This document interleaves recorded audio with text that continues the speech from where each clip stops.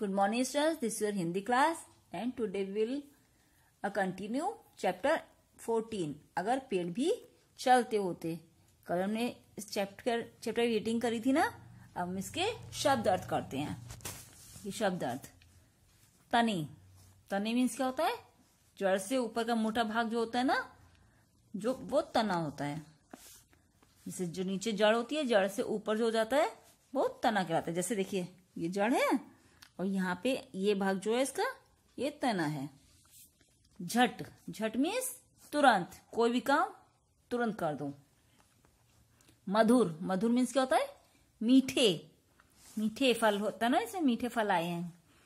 सताती सताती मीन्स क्या होता है? परेशान करती। कोई भी कोई भी चीज़ हम, कोई हमें परेशान करता तो हम क्या कहते हैं? क्यों सता रहा है? ऐसे बोलते हैं ना तो सताती है। सताती मीन्स परेशान करना। सुस्ताते सुस्ताते मीन्स क्या होता है? आराम करते जैसे हम कोई काम करते हैं, थक जाते हैं तो थोड़ी देर रेस्ट कर लेते हैं ना, आराम कर लेते हैं तो उसको सुस्ताते बोलते हैं। बाढ़। बाढ़ मीन्स वर्षा के कारण नदी का जल बहुत अधिक बढ़ना जब बाढ़, जब बाहर ज़्यादा वर्षा होती है तो पानी भर जाता है ना, बहुत बाढ़ आ जाती है, पानी, नदियों में पानी बहुत बढ़ जाता है, उसको बाढ़ बोलते हैं। हम देखिए क्वेश्चन आंसर करते हैं। मौखिक प्रश्न क्या है? मैंने इस कविता में किसके चलने की बात की गई है? किसके चलने की बात की गई है?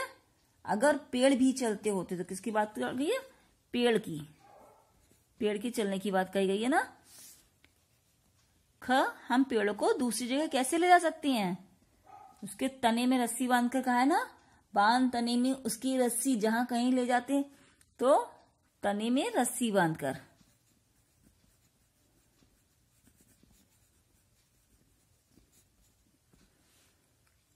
भूख लगने पर हम क्या करते भूख लगने पर हम क्या करते तोड़ मधुर फल उसके खाते। तोड़ मधुर फल उसके खाते।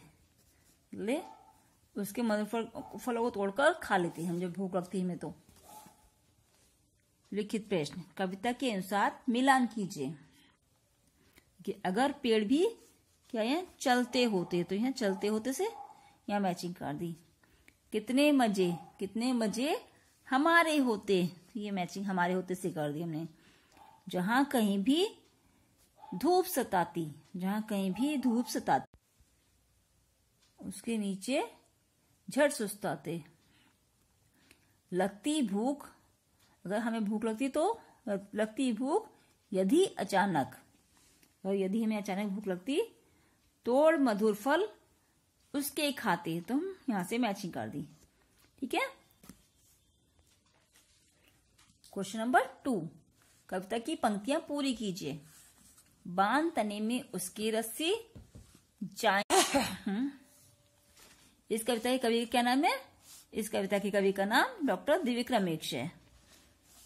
कवि के अनुसार कब हमारे मज़े होते हैं? जब पेड़ भी चलते होते हैं तो हमारे मज़े होते, ना? कवि के अनुसार पेड़ अगर चल पाते तो कीचड़ बाढ़ आने पर क्या करते?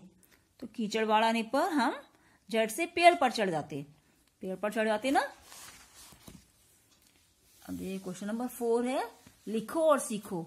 तो ये शब्द जो है, इनको आप नीचे, इनके नीचे लिखेंगे। पढ़ेंगे और लिखेंगे इसे पेड़ पेड़ नीचे लिखेंगे इसके बाँध, नीचे इसके रस्सी, यहाँ पर। जहाँ यहाँ पर कहीं यहाँ झट, यहाँ पर झट लिख दिया। सुस्ताते यहाँ वर्षा, यहाँ पर तोड़, यहाँ पर कीचड़, यहाँ पर बाढ़, चढ़, यहाँ पर। ये सब शब्द आप पढ़ेंगे अपने आप और लिखेंगे। ओके?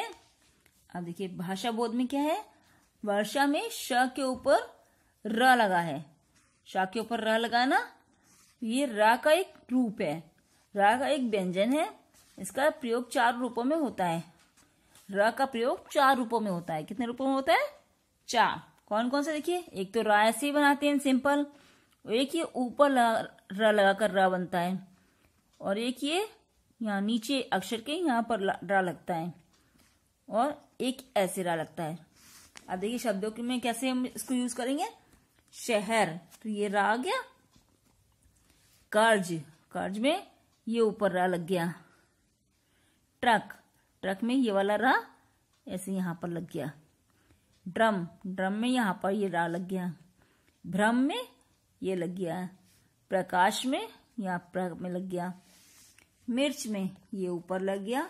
भारत रा ऐसे लग गया। राष्ट्र में ये नीचे ऐसे लगता है। क्रम में क्रम लिखने में का में लग गया ये रा धर्म में ये ऊपर माँ के ऊपर रा लग गया और लहर में ये रा ऐसे लिखा हुआ है। ठीक है? अब हमें ये देखिए, इन शब्द, इन मात्राओं को कैसे हम लिखना, इसके अकॉर्डिंग हम यहाँ लिखेंगे। रा है ये इसके शब्द लिख दिए मैं शहर, लहर, भारत। अब ये ऊपर डाल जो लगे हुए से कार्य धर्म, और क्या है?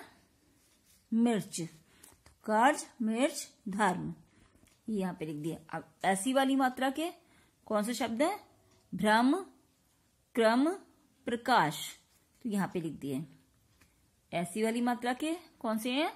ट्रक, ड्रम, राष्ट्र। तो यहाँ पर लिख दिए। ओके?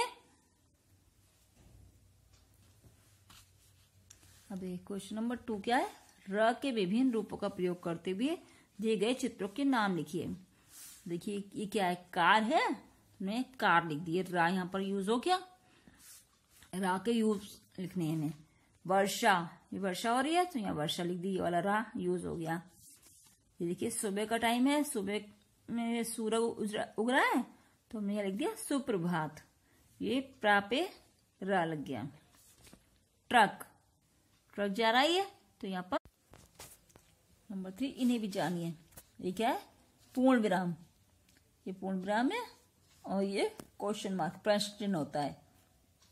तो देखिए, पूर्ण विराम कब लगता है? हम कोई वाक्य को पूरा करते हैं। मेरा नाम प्रिया है। तो मेरा नाम प्रिया है के बाद में पूर्ण विराम लग गया। तुम्हारा नाम क्या है? अब हम इसमें प्रश्न कर रहे हैं ना कि तुम्हारा नाम क्या है? तो इसमें ये क्वेश्चन मार्क लग गया ऐसे। हम किसी से भी कोई प्रश्न करते हैं तो उसके आखिर में यहाँ पे क्वेश्चन मार्क लग जाता है। हमें बताना है इन वाक्यों के अंत में कौन सा वो लगेगा यहाँ पे क्वेश्चन मार्क क्वेश्चन मार्क लगेगा या पूर्ण विराम लगेगा? ममता घूमने गई है। यह वाक्य पूरा हो रहा है ना? तो यहाँ पर पूर्ण विराम लग गया।